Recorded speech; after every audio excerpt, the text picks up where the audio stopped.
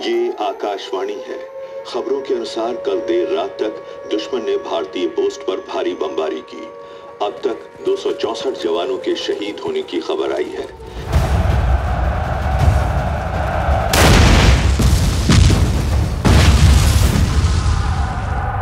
ये जंग एक रोज खत्म होगी। बस हमें यकीन जलाए रखना होगा।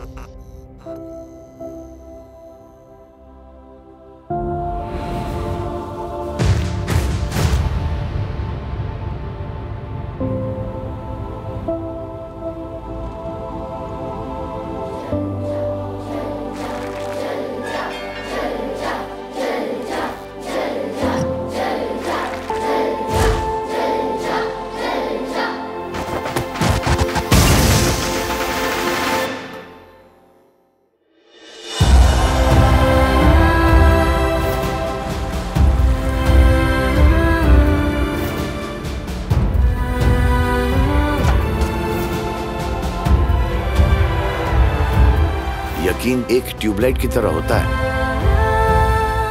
देर से जलता है। लेकिन जब जलता है तो फुल लाइट कर देता है।